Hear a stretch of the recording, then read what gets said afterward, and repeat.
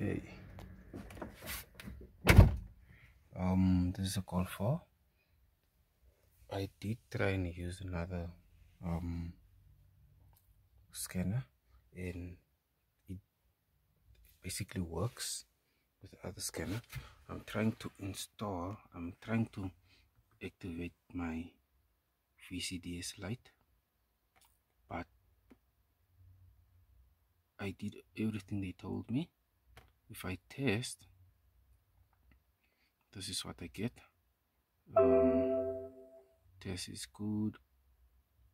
Um, blah blah blah. I also tried this on another laptop so I have to save it.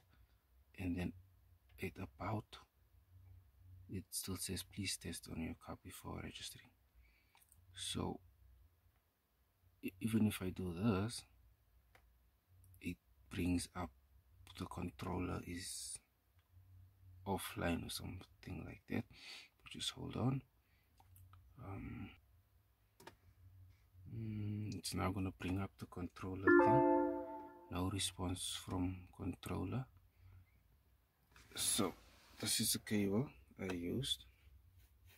I am currently using. It used to work and now all of a sudden it because of my previous laptop that went bad I now to get another laptop. And it's now it just don't want to work. On my other laptop the test shows excellent. The latency test shows excellent. Um i don't know this sometimes shows yes sometimes shows no. I don't know what's up with that i saved i applied both nothing. Should I try control module finder? I tried scanning here still nothing.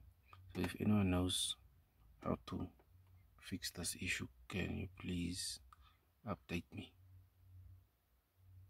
Because I, the only issue is I can't get my serial number so I can register